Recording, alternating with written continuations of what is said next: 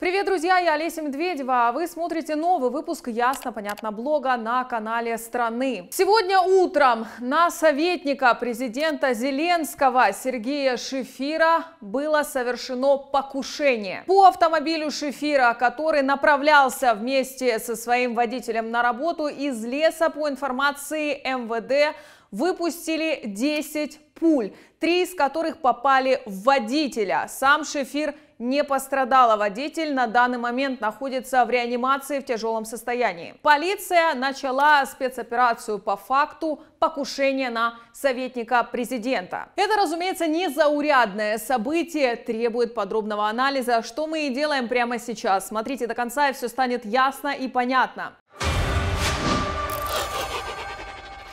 Важно понимать, что Сергей Шефир очень долгое время был одним из самых близких к Зеленскому человеком. Но накануне пошли слухи о том, что Шефир недавно потерял свое влияние на президента. И его активно отпихивает от принятия решений глава офиса президента Андрей Ермак. Кроме того, пошли слухи, что и сам Зеленский недоволен Шефиром и чуть ли не поссорился с ним. Кроме всего прочего, с Шефиром связывали компанию Агрогаз Трейдинг, которая занимается занималась поставками газа на Одесский припортовый завод. Но буквально недавно их остановила. Из-за этого и остановил свою работу сам завод. Причем пошли слухи, что в ближайшее время поставщик газа на завод поменяется. И это также связывали с уменьшением влияния на разные процессы в стране Шефира. До недавних пор Шефир также считался ключевым человеком в команде президента по контролю за финансовыми потоками и распределения бизнеса, а также также его отжимом в пользу Зеленского и его окружения. Его часто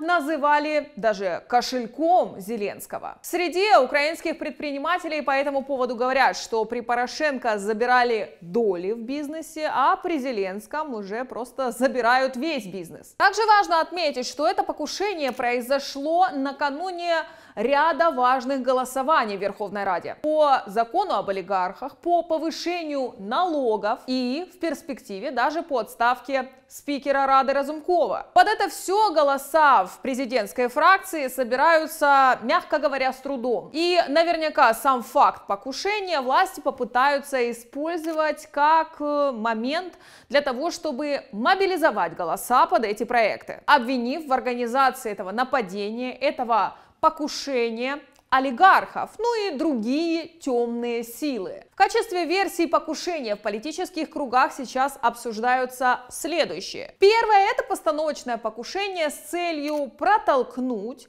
на волне противостояния врагам нужные власти решения в Раде. А возможно и ввести новые санкции или же возбудить уголовные дела против тех, кто будет назначен заказчиком стрельбы. Сейчас объявлен план перехват, пытаются найти тех, кто это сделал, но найдут ли? Вопрос открытый. Вашу версию, друзья, пишите в комментариях. Еще одна версия – это разборки внутри Z-команды. Также говорят о том, что это может быть месть за отжатие бизнеса или же предупреждение, чтобы бизнесы эти не отжимали, не трогали. Ну и еще одна версия касательно того, что Шефир был по сути кошельком Зеленского. И это могло быть в целом предупреждение президенту по поводу его дальнейших планов по отжиму бизнеса и распределению потоков. Офис президента уже также выдал трактовку происходящего голосами спикера президента Никифорова, а также Давида Арахамии, но не только. Они трактуют это как ответку олигархов и по традиции уже обвиняют Москву. Советник главы офиса президента Михаил Подоляк сказал, мы безусловно связываем это нападение с агрессивной, даже воинственной кампанией противодействия активной политики главы государства, политики, направленной на существенное снижение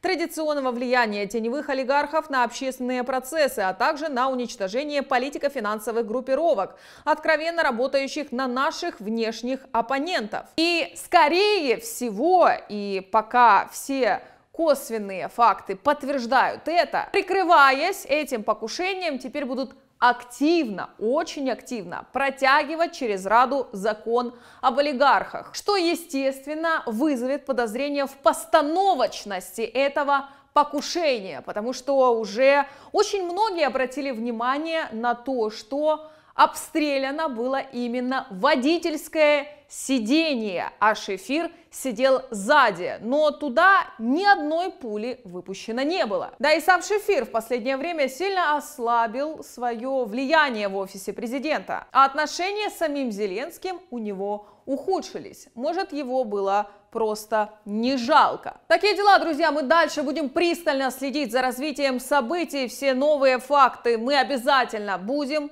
рассказывать вам. Для того, чтобы получать максимально оперативную информацию, подписывайтесь на телеграм-канал «Политика страны» и главные новости вы можете прочитать прямо здесь, на нашем YouTube-канале во вкладке «Сообщество». А на этом у меня пока все. С вами была я, Олеся Медведева. Ясно, понятно, блог на канале страны. Скоро увидимся. Пока.